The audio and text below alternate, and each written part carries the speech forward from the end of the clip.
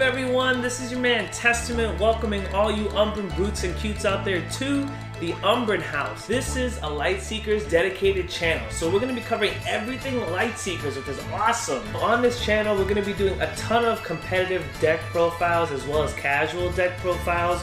We'll be doing a lot of booster box openings and we'll be covering a lot of the lore. The Lightseekers lore is so good. My favorite part of the lore is the Umbrans, hence the name the Umbron House.